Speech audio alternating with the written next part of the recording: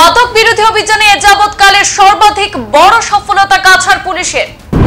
একশো পাঁচ কোটি টাকা মূল্যের হেরোইন কাছাড় পুলিশের জালে।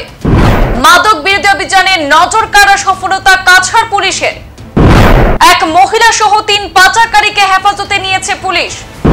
শনিবার রাতে শিলচর আইজল বাইপাসের অটল বস্তি এলাকা অভিযান চালায় পুলিশ।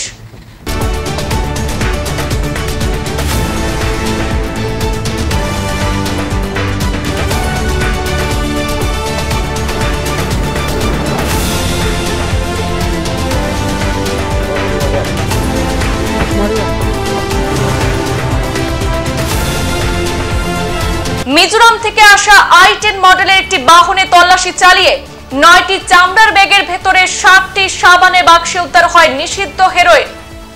দশ কিলো তিনশো তেত্রিশ গ্রাম হেরোইন বাজেয়াপ্ত করার পাশাপাশি বাহনে থাকা বহিরাজ্যের এক মহিলা সহ দুই যুবক, মোট তিনজনকে আটক করে জিজ্ঞাসাবাদ শুরু করেছে কাছাড় পুলিশ। শিলচরকে করিডোর হিসেবে ব্যবহার করে বহিরাজ্যের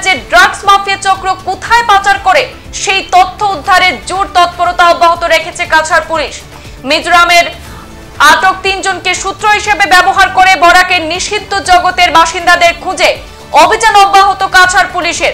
বড়সড় সফলতা লাভ করল কাছাড় পুলিশ। ড্রাগস বিরোধী অভিযানে নেমে একশো কোটি টাকা মূল্যের হেরোইন বাজেয়াপ্ত করেছে কাছাড় পুলিশ। সেই সাথে এক মহিলা সহ তিন পাচারকারীকে হেফাজতে নিয়েছে কাছাড় পুলিশ শনিবার রাতে শিলচর আইজল বাইপাসের অটল বস্তি এলাকায় চলে কাছাড় পুলিশের সফল অভিযান। মিজোরাম থেকে আসা আই টেনের একটি গাড়ি থেকে তল্লাশি চালিয়ে নয়টি চামড়ার ব্যাগের ভেতর থেকে সাতটি সাবানের বাক্সে উদ্ধার হয় প্রচুর পরিমাণ নিষিদ্ধ হেরোইন। দশ কিলো তিনশো তেত্রিশ গ্রাম হেরোইন বাজেয়াপ্ত করার পাশাপাশি বাহনে থাকা বহিরাজ্যের এক মহিলা ও দুই যুবককে আটক করে জিজ্ঞাসাবাদ চালানো হচ্ছে বলে পুলিশ সুপাৰ জানিয়েছেন। ড্ৰাগছ বা নিচাযুক্ত সামগ্ৰীৰ বিৰুদ্ধে কাছাৰ আৰক্ষীৰ অভিযান অব্যাহত আছে। আপোনালোকে দেখিছে বিগত দিনতো আমি এই অভিযান অব্যাহত ৰাখিছোঁ আৰু অসমৰ মাননীয় মুখ্যমন্ত্ৰী ডাঙৰীয়াই অসমখনক ড্ৰাগছমুক্ত কৰাৰ যি পণ লৈছে তাক সৰুগত কৰি আমাৰ অভিযান অবিৰতভাৱে চলি আছে। আৰু তাৰ এক বিশেষ অংশস্বৰূপে যোৱা নিশা আমি এটা বিশেষ অভিযান চলাইছিলোঁ। আৰু সেই অভিযানটো চলিছিলে আমি আমাৰ শিলচৰ আইজল বাইপাছত। আৰু অঞ্চলটো আছিলে অটল বস্তি নামৰ অঞ্চলটোত আমাৰ এটা অভিযান চলিছিলে। আৰু অভিযান কালত চুবুৰীয়া ৰাজ্যৰ পৰা এখন অহা এখন গাড়ী আই টেন গাড়ী গাড়ীখনৰ নাম্বাৰ হ'ল M Z zero' one N four zero' seven three. এই আই টেন গাড়ীখন আমি ইণ্টাৰচেপ্ট কৰোঁ। আৰু ইণ্টাৰচেপ্ট কৰাৰ পাছত যেতিয়া আমি খান তালাচী চলাওঁ যেতিয়া আমি চাৰ্চ কৰোঁ তাৰ পৰা বৃহৎ পৰিমাণৰ ড্ৰাগছ হিৰ'ইন আমি জব্দ কৰিবলৈ সক্ষম হৈছোঁ। আৰু সেই ড্ৰাগছৰ যি পৰিমাণ আমি পাইছোঁ তাত আমি নটা লেডাৰ বেগ বা চামৰাৰ বেগত চামৰাৰ বেগত তাত হিৰ'ইন ভৰ্তি আছিলে ছাছপেক্ট টু বি হিৰ'ইনছ আৰু ষাঠিটা চাবোনৰ বাকচ যাক আমি জব্দ কৰিছোঁ।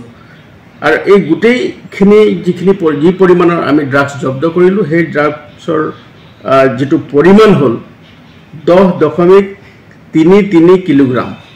মানে ten ten point three three কিলোগ্ৰামৰ হিৰ'ইনছ আমি জব্দ কৰিছোঁ।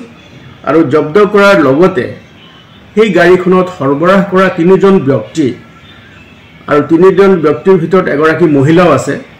তেওঁলোক চুবুৰীয়া ৰাজ্যৰ তেওঁলোক সীমামূৰীয়া আন্তঃৰাষ্ট্ৰীয় সীমামূৰীয়া জিলাৰ পৰা তেওঁলোক আহিছিলে।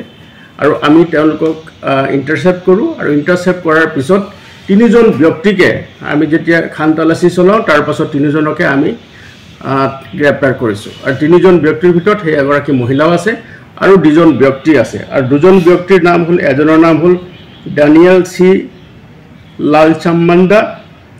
তেওঁ তেওঁৰ ঘৰ হ'ল আইজল মিজোৰাম। আৰু এজন আছে যে লালচান্দ জভা এক একত্ৰিছ বছৰৰ। তেওঁ হ'ল চাম্পাই জিলা। আৰু তাৰ লগতে এগৰাকী মহিলা আছে। গতিকে দুইজন তিনিজন ব্যক্তিকে আমি ইতিমধ্যে সোধ পোছ চলাই আছোঁ। আৰু সোধ পোছৰ কালত আৰু নিচাযুক্ত সামগ্ৰী যি আমি জব্দ কৰিছোঁ আৰু উদ্ধাৰ কৰাৰ কৰিব পৰা হয়তো যাব পাৰে। গতিকে আমাৰ এই যি অভিযান আছে অব্যাহত আছে। আৰু যি যি পৰিমাণৰ আমি নিচাযুক্ত সামগ্ৰী জব্দ কৰিলোঁ তাৰ চোৰাং বজাৰত বজাৰ মূল্য হ'ব প্ৰায় এশ পাঁচ কোটি টকা। গতিকে আমি যোৱা নিশাৰ পৰা আমাৰ এই অভিযান চলি আছিলে আৰু এতিয়াও আমি তেওঁলোকক জোৰ তদন্ত আমি অব্যাহত ৰাখিছোঁ তেওঁলোক সোধ পোছ কৰি আছোঁ আৰু তেওঁলোকৰ ক'ৰ পৰা আহিছে ক'লৈ যোৱাৰ যিটো পৰিকল্পনা আছিলে বেকৱাৰ্ড লিংকেজ আৰু ফৰৱাৰ্ড লিংকেজেছ কি আছে সেইবিলাক আমি জোৰ তদন্তৰ জৰিয়তে আমি উদ্ধাৰ কৰিবৰ কাৰণে আমি চেষ্টা কৰি আছোঁ। আৰু আমি আশা কৰিছোঁ যে শীঘ্ৰেই ইয়াৰ লগত সম্পৰ্কিত থকা আন যিসকল ব্যক্তি জড়িত হৈ আছে বা আমাৰ জিলাৰ মাজেদি এই যিটো সৰবৰাহ কৰা এটা ট্ৰেনজিট পইণ্ট হিচাপলৈ সৰবৰাহ কৰা যিটো বৃহৎ পৰিকল্পনা আছিলে আৰু আমি তাক ধৰা পেলাবলৈ সক্ষম হৈছোঁ। আৰু আমাৰ এই যি অভিযান চলি আছে, সি অব্যাহত থাকিব। সংবাদ এই পর্যন্তই ফিরছি পরবর্তী অন্যান্য আপডেট নিয়ে। ধন্যবাদ।